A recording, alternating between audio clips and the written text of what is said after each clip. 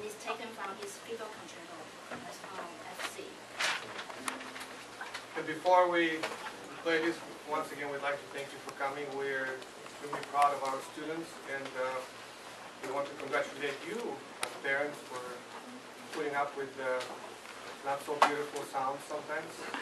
And uh, we, we want to encourage you that we have no doubt they will be much better and much better very soon, as long as they keep up the great work that they already are doing. So thank you very much for um, allowing us to teach them. We appreciate that very much. And uh, hope you enjoy the next piece.